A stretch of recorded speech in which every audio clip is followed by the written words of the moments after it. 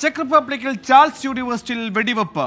പതിനൊന്ന് പേർ കൊല്ലപ്പെട്ടുവെന്ന റിപ്പോർട്ട് ഇരുപത്തഞ്ച് പേർക്ക് പരിക്കേറ്റു.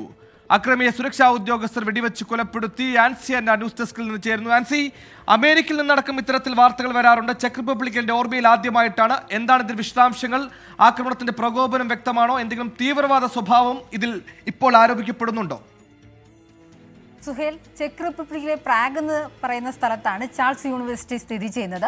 അവിടെയാണ് ചെക്ക് റിപ്പബ്ലിക്കൻ സമയമായ ഏകദേശം മൂന്ന് മണിയോടുകൂടി ഈ ആക്രമണം ഉണ്ടാകുന്നത്. അക്രമിയെ പോലീസുകാർ വെടിവെച്ച് കൊലപ്പെടുത്തി.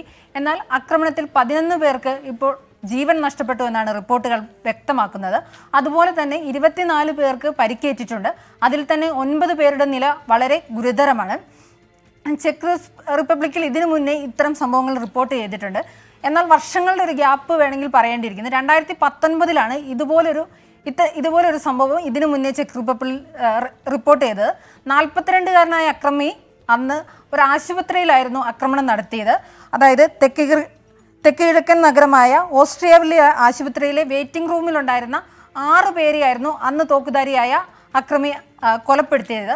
അതിനുശേഷം സ്വയം അക്രമി വെടിവെച്ച് കൊല ജീവൻ ഒടുക്കുകയായിരുന്നു ചെയ്തത്. എന്നാൽ ഈ യൂണിവേഴ്സിറ്റിയിലുണ്ടായ സംഭവത്തിലേക്ക് വരികയാണെങ്കിൽ ചാൾസ് യൂണിവേഴ്സിറ്റിയിലെ ഫിലോസഫിക്കൽ ഡിപ്പാർട്ട്മെന്റിലാണ് ഈ ആക്രമണം ഉണ്ടായിരിക്കുന്നത്. പതിനൊന്ന് പേർക്ക് ഇപ്പോൾ തന്നെ ജീവൻ നഷ്ടപ്പെട്ടു എന്ന റിപ്പോർട്ടുകൾ വരുന്നുണ്ട്. ഈ ചില ചിലപ്പോൾ ഈ മരണസംഖ്യ ഉയർന്നേക്കാം.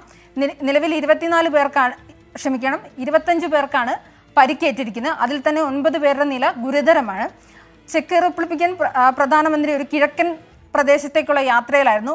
ആ യാത്ര റദ്ദാക്കി ഇപ്പോൾ പ്രാഗിലേക്ക് പുറപ്പെട്ടിട്ടുണ്ട്. അതുപോലെ തന്നെ ഈ അക്രമി നമുക്ക് ആശ്വസിക്കാവുന്ന ഒരു കാര്യം എന്ന് പറയുന്നത് അക്രമിയെ പോലീസുകാർ കൊലപ്പെടുത്തി എന്നത് തന്നെയാണ്. സുഹേൽ.